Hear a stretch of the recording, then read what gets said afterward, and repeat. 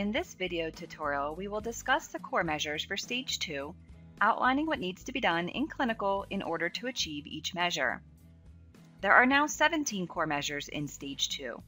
Most of the measures are similar to what you accomplished in Stage 1, there's only one completely new measure.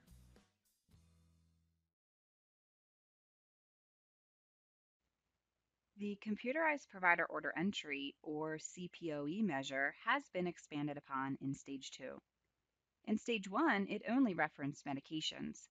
However, in Stage 2, they changed it to requiring you to electronically document 60% of medications, 30% of laboratory tests, and 30% of radiology orders in the EMR.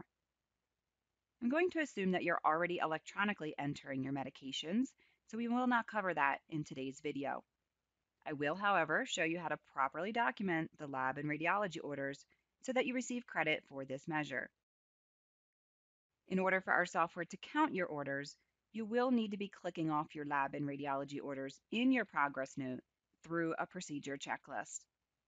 If you are clicking off orders through our software using a generic checklist, then you will need to modify your template in order to achieve this measure.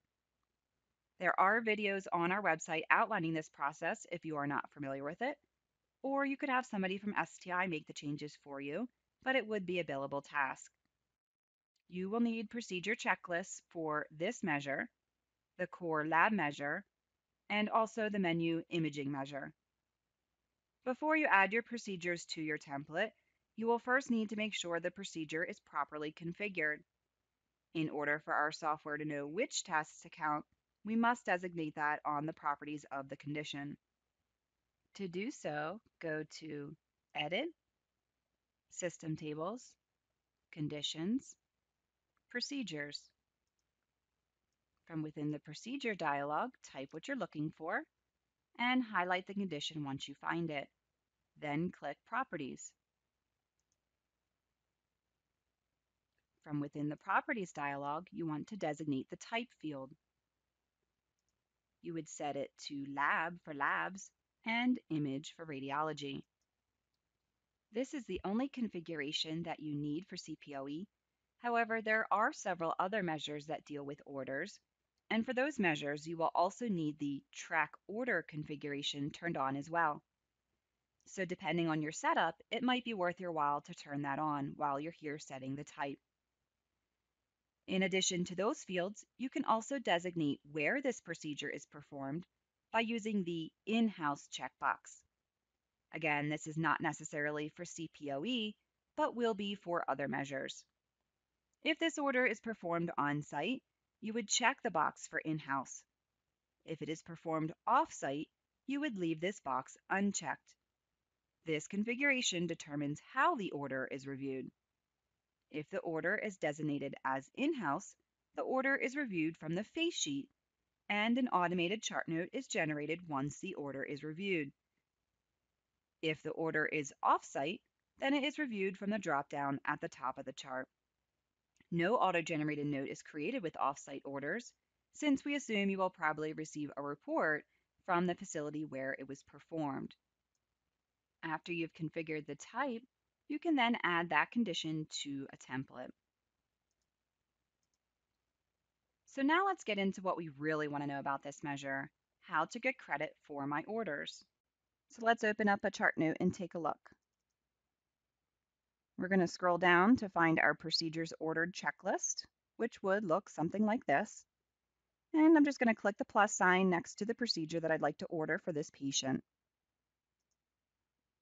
From within the Order Procedure dialog, you would fill out any appropriate information. Now, nothing is necessarily required to be entered for this measure, but of course you may have to enter information like diagnoses for other reasons.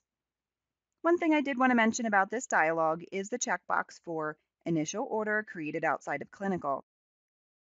You will see this field on this dialog as well as the medication dialog, and it will serve the same purpose on both. It would be used in a situation where you originally created the order on paper, or maybe over the phone, and then later went into the EMR and added it for proper documentation.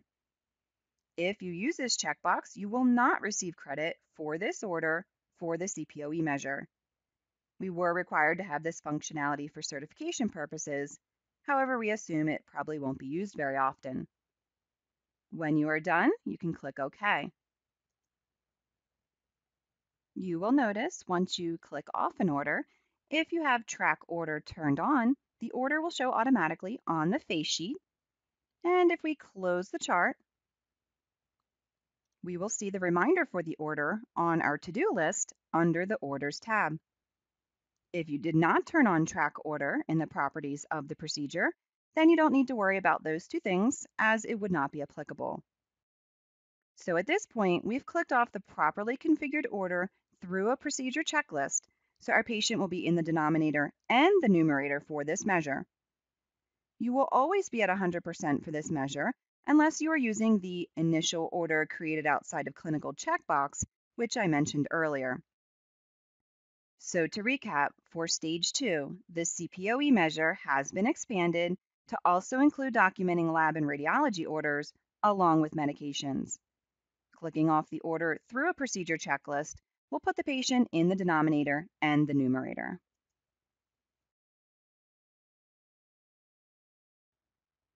Core measure number two is your e-prescribing measure.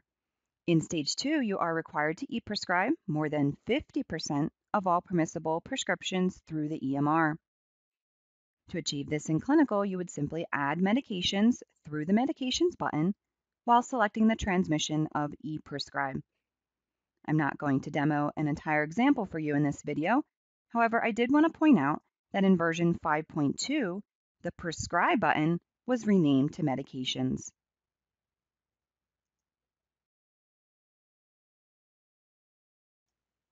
Moving along to core measure number three, the demographics measure. In stage two, you are required to document race, language, ethnicity, gender, and date of birth on more than 80% of all unique patients seen. This can be done in Practice Manager on the Patient tab or in Clinical on the ID tab.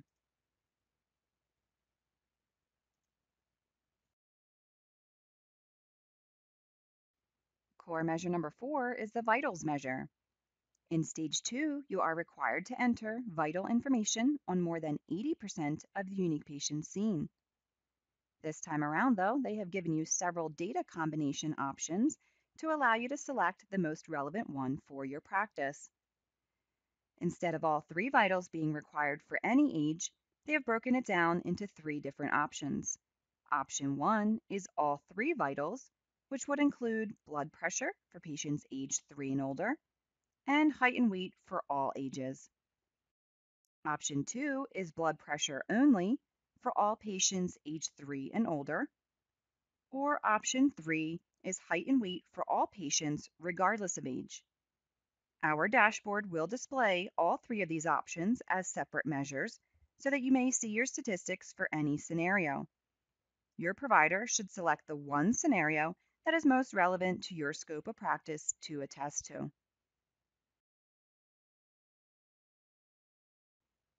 Core measure number five is recording the smoking status. In stage two, you are required to document smoking status for more than 80% of patients aged 13 and older. Beyond them changing the required percentage, there are no additional changes to this measure. You will use the smoking history button to document this information. Remember, this only needs to be documented one time during the reporting period for each patient.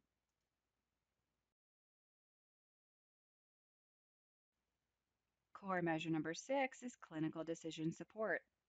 In stage two, you are required to implement five clinical decision support rules relevant to your specialty, and those five rules should be related to four or more clinical quality measures if possible. Remember, you set up one rule for stage one, so you probably only need to set up four more to meet stage two. To aid in configuring these rules, we have added several pre-configured rules related to CQMs for your convenience. And I'll show you those in a minute, but before I do, I also wanted to mention that there is a second part of this rule, and that is to have your interaction checking turned on. In stage one, this was a separate measure unto itself. It was one of those measures where you didn't necessarily have to do anything with it, since our interaction checking is turned on by default. So in stage two, for whatever reason, they lumped it in with this measure. you will see two parts, Part A and Part B, for this measure on your dashboard. Okay, so let's go and take a look at how to create decision support rules. To create a rule, go to Edit, System Tables, DSS Rule Builder. If this option is grayed out for you, that means you do not have the user privilege to create DSS rules. To change this, you would go down to Users, change your configuration, log out and back in, and then you should see the DSS Rule Builder available. Within the DSS Rule Builder, the first addition you will notice is the View Saved Rules area to the right. If you click on the drop-down, you will see a list of any rules you have created, as well as the nine pre-configured rules that are based on CQMs. The names of these rules will always start with CQM and then the NQF number if available. Now, even though we have pre-configured rules, there will still be some manual intervention on your part in order for them to function. There was no way for us to map the data points since everyone's database is different. So to map your data points, you would select the rule from the Save Rules dropdown, then take a look at the rule logic and pick out the data points that need to be defined. They are typically the data points related to diagnoses and or procedures.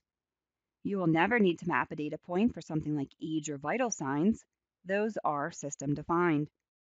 If you are unsure which data points need to be mapped, please reference our user manual as it will have a list for you.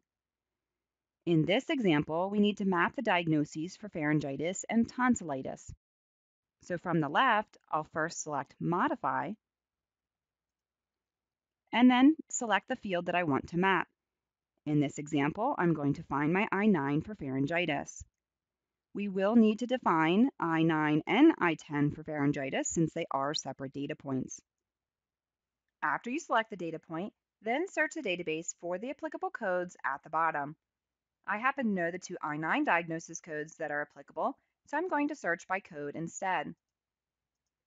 Type in the criteria and highlight the data element once you find it. Then click Add to add it to the linked diagnoses list. You can then repeat those steps as necessary, adding codes.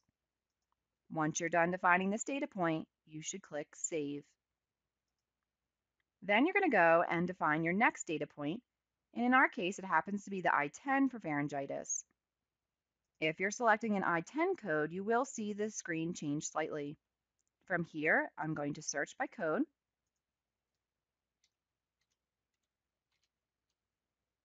And once the system finds the correct code, I'm going to select Add to Selected Codes. Again, you can repeat those steps if necessary. And once you're done defining this data point, you can click Save. Now, if we were really setting this up, we would continue by defining the data points for tonsillitis, but I'm going to skip over that for sake of time. The last thing that you will have to do when using pre-configured rules is to define the action mapping.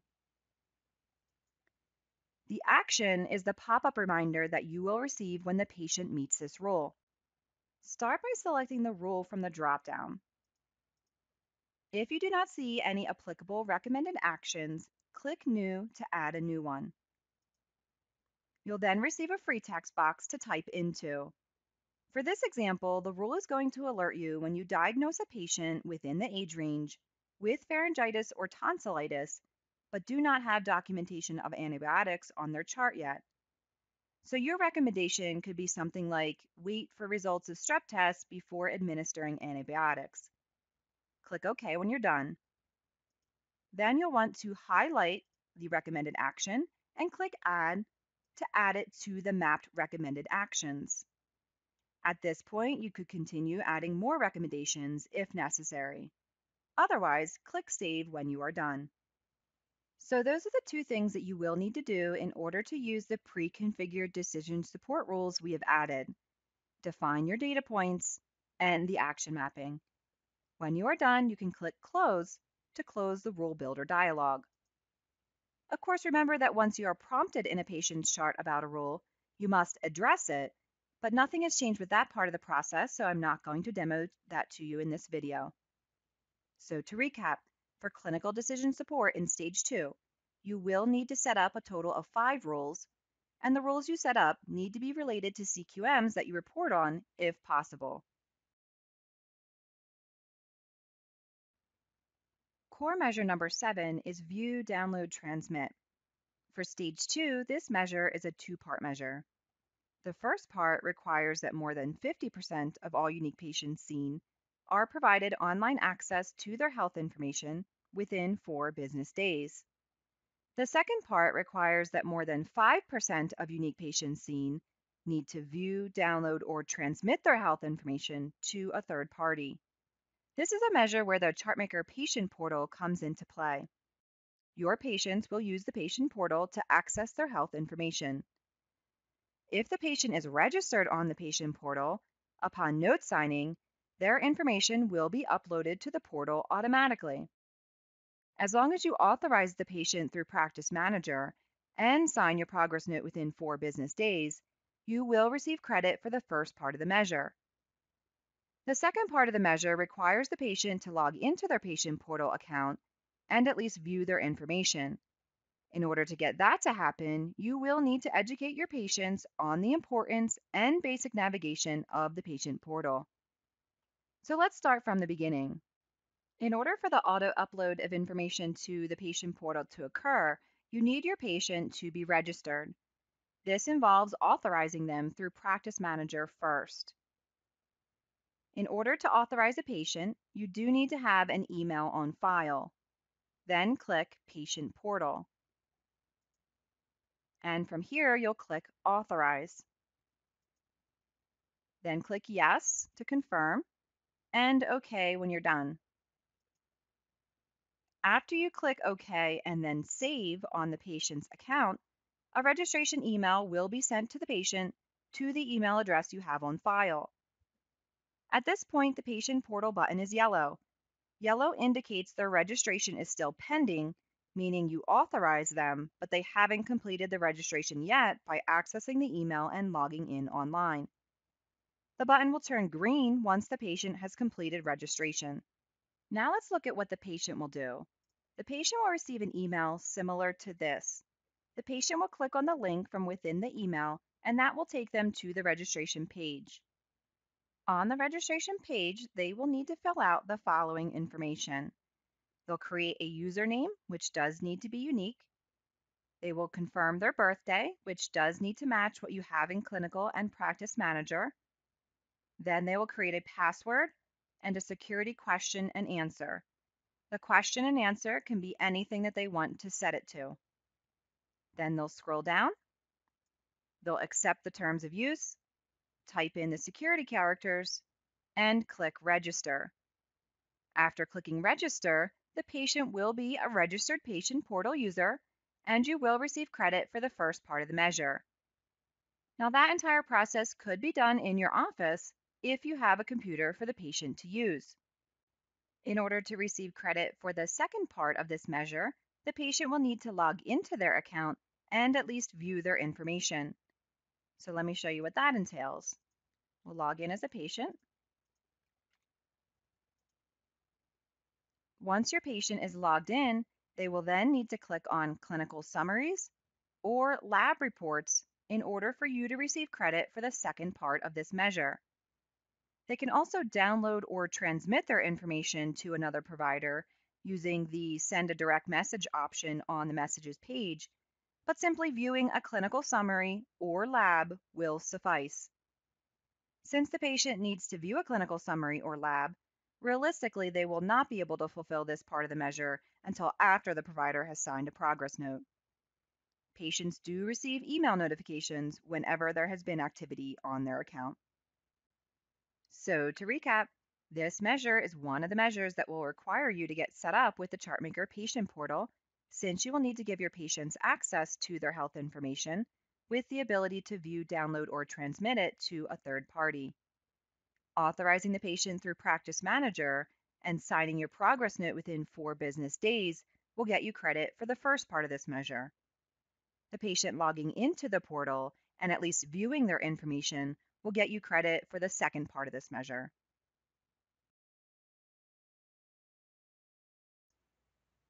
Core measure number eight is clinical summaries. In stage two, you are required to provide a clinical summary to 50% of your patients seen within one business day. To generate a clinical summary, you would either click Export at the top of the screen after completing and signing your note, or you can go to Chart, Export, Patient Data. You must use this option if you are printing the clinical summary on any day other than the office visit in order to receive credit. This dialog has two new options, the option to print previous clinical summaries and the option to change your clinical summary preferences.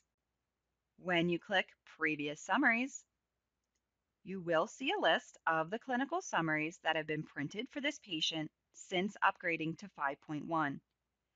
This list will not include the summaries that were printed prior to upgrading to 5.1.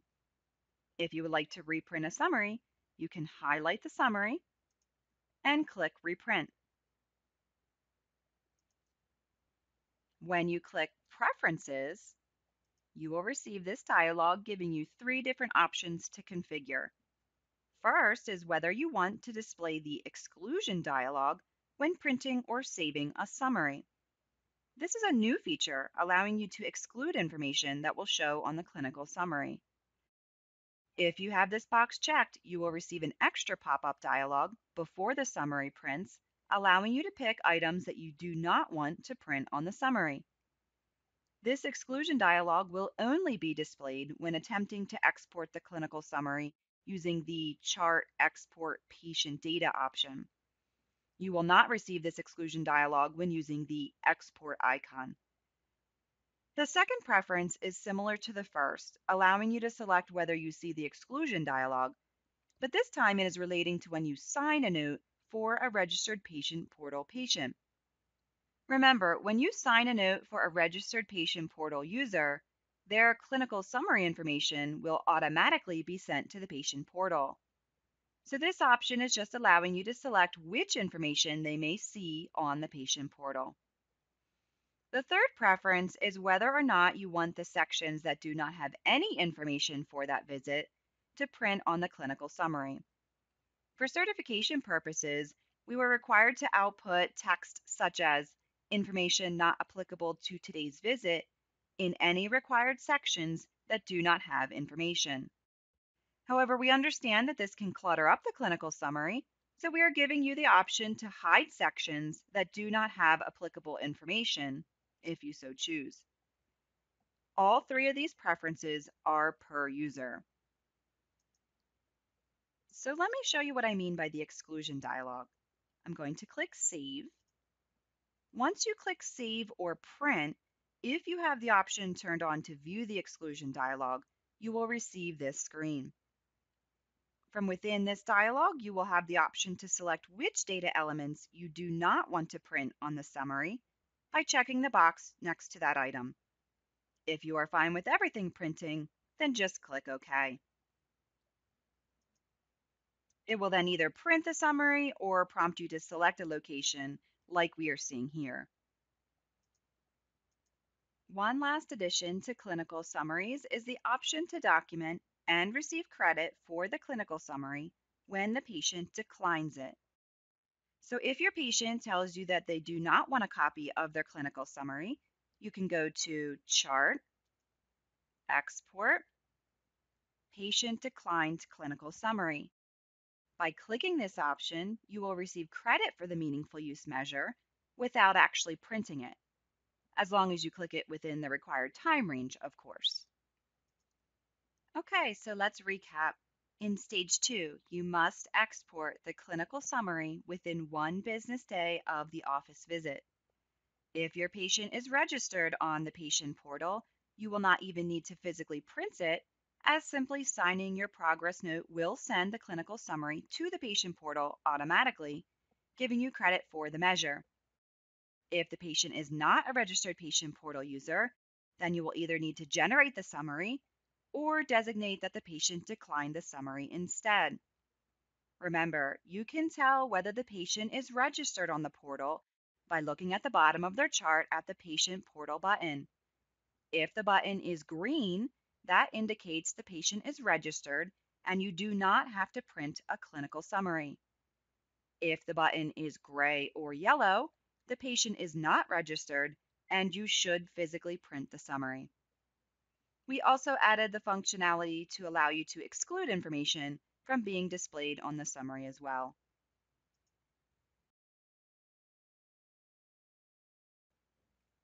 Core measure number nine is protect electronic health information. This is a measure that requires you to have a manual detailing all that you do to protect patient health information, whether it is written, electronic, or verbal. To attain this measure, you are required to keep this manual up to date. So every year you should be assessing your procedures along with the manual to see if anything needs to be adjusted. Even if you feel that no modifications are necessary, you still need to be completing this process and then updating the copyright date to show that it's been revised. Remember, one of the key requirements to this measure is to perform a security risk analysis.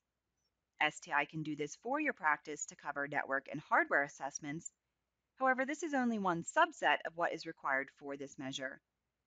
This is a measure that comes up often during audits, so please make sure that you've updated your manual and had another security risk analysis performed in 2014.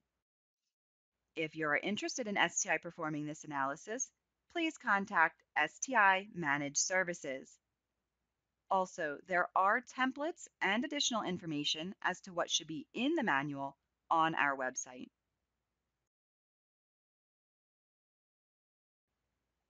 Core measure number 10 is incorporating lab results.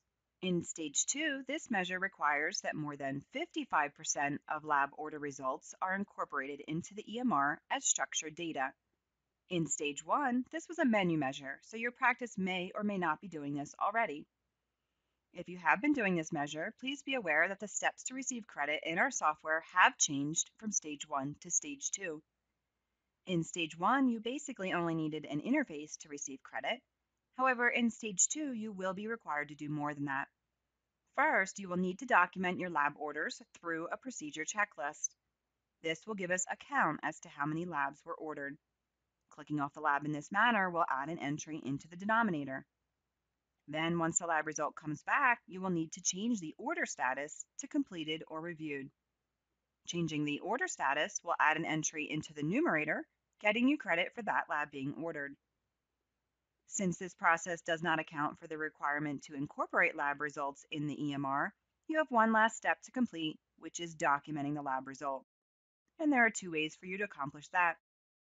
You can either incorporate an electronic lab interface, or if that is not possible, then you can manually enter the lab result into a note, and that would suffice. Obviously, incorporating the electronic lab interface is easier, so if that is available, we would suggest going that route. If you need information on setting up an interface with your lab vendors, contact software support. So let me show you what that entails in the software. Before you can even start entering your lab information, you will need to make some database and template changes. You'll start by checking to make sure that all the lab conditions are designated as such in the database. To do so, go to Edit, System Tables, Conditions, Procedures. From within the search screen, type what you're looking for, highlight the condition once you find it, and click Properties. From within the Properties dialog, you'll want to make sure that you set the Type field to Lab. You will check the box for Track Order, and if you happen to perform the procedure in your office, you can check the In-House checkbox as well. Once you've set the appropriate configurations, you can click Save. And then you would continue and do that for any other condition. Once you've set up your conditions, you can then add them to your template. Now let's look at how to order your labs. So from within a chart note, scroll down to find your orders checklist and click the plus sign next to the applicable lab you'd like to order for this patient. From within the Order Procedure dialog, fill out any appropriate information. Nothing is necessarily required to be entered for this measure, but of course you may have to enter information like diagnoses for other reasons. Click OK. I'm actually going to select another procedure so that I can show you the difference between in-house orders and off-site orders. The lipid panel is set up as an off-site order, and the urinalysis is set up as in-house. You will notice once you select the order that it shows automatically on the face sheet. If we close the chart, we will also see the reminder for the order on our to-do list under the Orders tab. So at this point, we've clicked off the properly configured lab through a procedure checklist. So our patient will be in the denominator for this measure. In order for the patient to get into the numerator, we need to track the status of the order. To do so, you would open the patient's chart. That can either be done by searching for the patient on the left or by double clicking on the order reminder from your to-do list.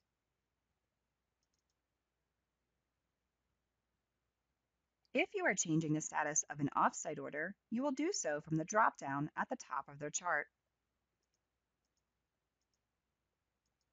You will immediately see the status change on the face sheet as well. If you are reviewing an in-house order, that is done from the face sheet by right-clicking on the lab and selecting Review In-House Order. You'll select the order status from the bottom, document comments and or results if applicable, and then click Save. The reminders on the patient's face sheet and on your to-do list will go away once you change the status of the order to reviewed. So at this point, since we changed the order status, our patient will now be in the numerator. The last thing you will need to do in order to attain this measure is to incorporate the lab results as structured data. If you have an electronic lab interface, no additional steps are required on your part since the results will be incorporated automatically. However, if you do not participate with an electronic lab interface, or if 55% of your labs do not come back through your interface, then you will need to document the lab results manually in a template. STI has created a generic template that you could use and or modify. However, if you need a template created, or if you want this standard template modified and do not have template editing knowledge, STI can do that for you for a fee. So let me show you this template. It will be named MU Lab Results Note. From within, you will see a single link listing some of the most commonly used labs. If you select one of these links, it will display a template with numeric fields applicable to that lab. So when you receive a lab result back, you would open the patient's chart, create a lab results note, and then enter the values for the applicable labs in the numeric fields. As long as your numeric field is linked to a lab condition and your lab condition is linked to an appropriate LOINC code, this will get you credit for having the lab result incorporated as structured data. Remember, this is only necessary if you do not have an electronic lab interface accounting for 55% of your labs. So to recap, for the lab measure, you will need to enter your lab orders through a procedure checklist, mark the lab as completed or reviewed when the results come back, and also have the lab results incorporated as structured data, whether that comes from an electronic interface or someone manually entering the data into your EMR is up to you.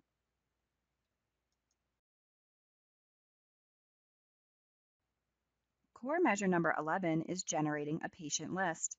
In stage 2, this measure is exactly the same as it was in stage 1, except now it is a core measure instead of a menu measure. You are required to generate one report listing patients with a specific condition. To do so, you would go to Reports, reports. The measure asks for patients with a specific condition, so the only thing that you need to filter your report on is diagnosis. So you would check the box next to with DX or with DX ICD-10, and then select the ellipsis to the right to search for your diagnosis. From within here, you will type the diagnosis you're looking for. Now, there are no rules as to what diagnosis to select, it just needs to be relevant to your patient population. So I'm going to go ahead and search for hypertension, highlight the diagnosis once you find it, and click Add. Then click OK, and Run Report. You will then see your results display at the bottom, and at this point you should print the report for your records. To print the report, click Print. To save the report to your computer, click Print to File. You can do either method as long as you have a copy of the report for attestation and or an audit.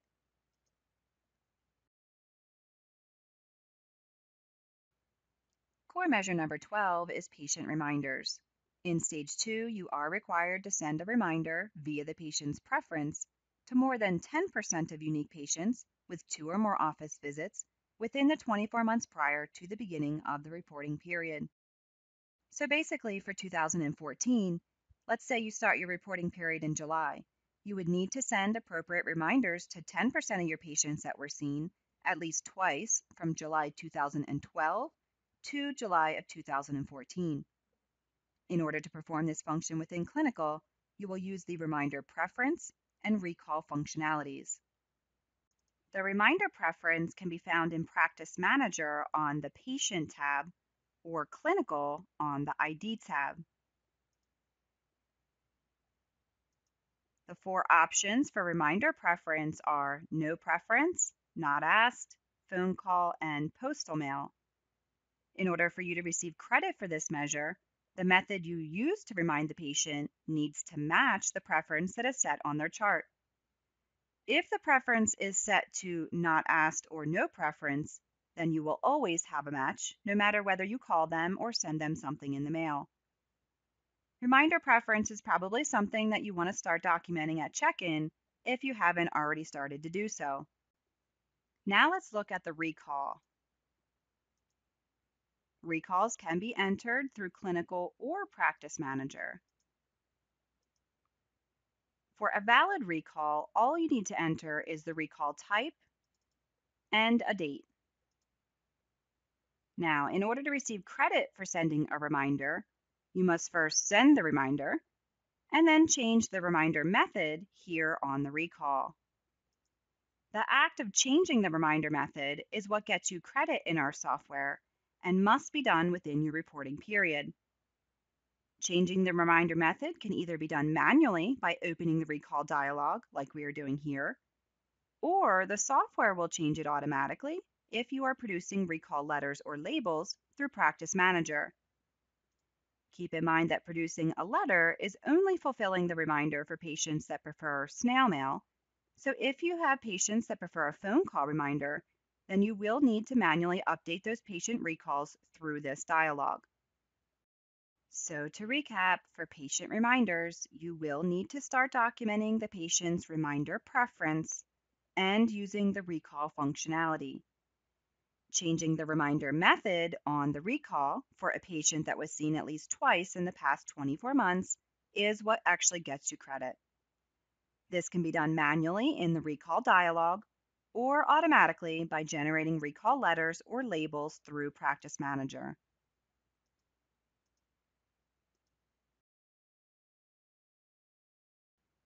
Moving on to core measure number 13, which is educational resources. For this measure, you are required to provide patient-specific educational resources to 10% of your patients seen. This is accomplished in clinical by using the Education Materials button. If you click Education Materials, you will see the familiar custom-defined list of educational materials that your office distributes at the top. And then at the bottom is an enhancement that we added in 5.1. You will now have the option to access educational materials from Medline Plus, which is a free online library of health information. If you want to use Medline Plus, click the icon. At the top of this dialog, you will notice that the patient's diagnoses, medications, and labs will be displayed, allowing you to click on one of these items to search for quickly. Notice how when I click on hypertension, it loads information regarding high blood pressure at the bottom and I could click on that topic to receive more information. If you want to give this handout to your patient, you can click Print and Save or Print. The Save option will record that you gave this to the patient. The Print option will obviously print the materials. So if you wanted to document that you gave them the information, but didn't necessarily want to print it right now, Maybe you have a printed copy already, or maybe it's available on your patient portal. You could just click Save instead. You can navigate, view, and save different topics without closing this dialog. Let's say I want to search for something that is not on the patient's chart. To do that, I would simply place my cursor in the box next to Search Medline Plus. Then I type what I'm looking for and click Go. You will then see the results appear, and you can look through it and determine what might be appropriate for this patient. You can click Save at any point to save the information that you're viewing to the patient's chart. When you are done, you can click Close. You will then see a list of all the information you saved for this patient. If you are done adding educational materials, click OK. In your progress note, any practice-specific materials, meaning the ones you selected from the top of the dialog, will print first, and the materials from Medline Plus will print after that. The Medline Plus materials will always have that designation before the document name so that you know where they originated from.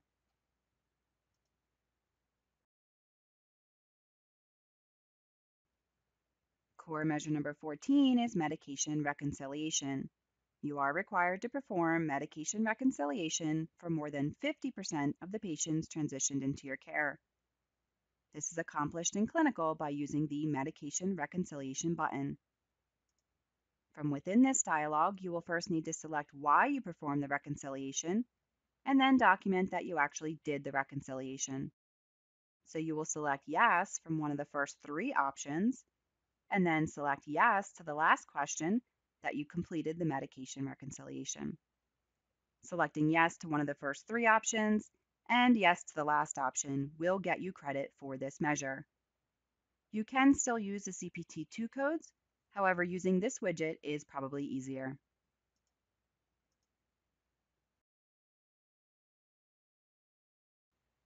Core measure number 15 is transition of care summary. In stage two, this is a three-part measure.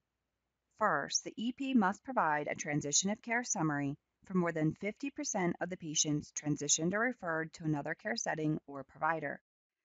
Second, within that 50%, 10% of those referrals need to be transmitted electronically using a certified method. Clinical will accommodate this process using Direct Project. The last part of the measure requires your practice to conduct a successful electronic exchange of the transition of care summary with either another practice not using STI's EMR product or using CMS's test validator tool called the EHR randomizer. So let's take a look at what needs to be done for each part of this measure. In order to produce a transition of care summary, open up the patient's chart and go to Chart, Export, Patient Data. If you access this dialog outside of the patient's chart, then you will have to search for the patient first. Then you'll select from the Document to Export dropdown, Transition of Care Summary. Then select the appropriate provider. The provider you select from this dropdown is the one that will receive credit for this measure. Then you would click Save or Print. And that is all that is required in order to receive credit for the first part of the measure. The second part of this measure requires that you send at least 10% of those transition of care summaries electronically. This is done using Direct Project. In Clinical, you will go to To Do, Direct Messaging, Send New Message. This dialog only allows you to send a secure message to another party who has a direct address. Direct addresses are different than email. Direct addresses are assigned through your EMR vendor for the purpose of exchanging patient health information through a secure messaging standard and can only be used through an interface capable of supporting direct. If you do not have a direct address yet, you can go to our website to request one. In order to select the recipient of this message, click To. Then type in whatever criteria you would like to search by and click Search. Once you find the appropriate recipient, double-click on their name to add them to the To field. Once you're done adding recipients, click OK. Then you can add a subject for your message. You do have the ability to attach items to this message by clicking Attach. However, if you are trying to attain the second part of this measure, you need to attach your Transition to Care summary by clicking Generate and Attach CDA. After doing so, select your provider. The provider that you select from this dropdown is the one that will receive credit for this Transition to Care summary. Then click Save. If you have the exclusion dialog turned on, you will receive it at this time. You can select information to be excluded from the summary and or click OK. Then you would select a location to save your file and click Save. Once the export is complete, you will receive a dialog and you will click OK. At this point, you can finish by adding a message and or just clicking Send. You will not receive any confirmation dialogues after clicking send, but if you want to check which messages have been sent, go to To Do, Direct Messaging, View Sent Messages. This dialog will list all the messages that have been sent for this user and other users in your practice. So at this point, you will have achieved part two of this measure, which was to send your transition to care summary electronically via a certified method. For the third part of the measure, you need to successfully do an exchange with either another practice not using STI's EMR product or using CMS's test validator tool. We suggest that you use CMS's EHR randomizer since it will probably be easier to prove that you've completed this part of the measure. To do so, you would go to EHR randomizer.nist.gov, register, and follow the steps to submit a file. We do have detailed instructions on our website and in our user manuals of how to do this.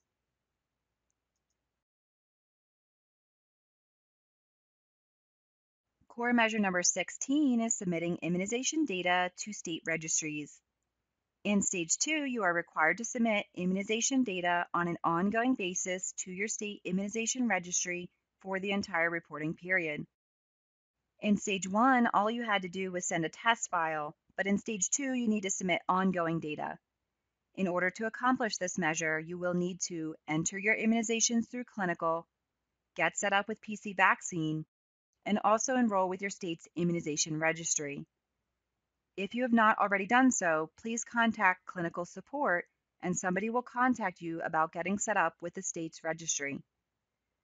If you have previously sent a test file with STI's assistance, you are in our queue and somebody from STI will contact you when we are ready to start sending data for each state for 2014. Most states are ready with the 5.2 release. However, Pennsylvania's interface will most likely not be ready until August, since it was a more complex bidirectional interface. After an STI representative installs PC vaccine, they will also train you on how to enter immunizations and generate batch files, so I will not cover it in today's video. If you do not administer any immunizations, then you are excluded from this measure.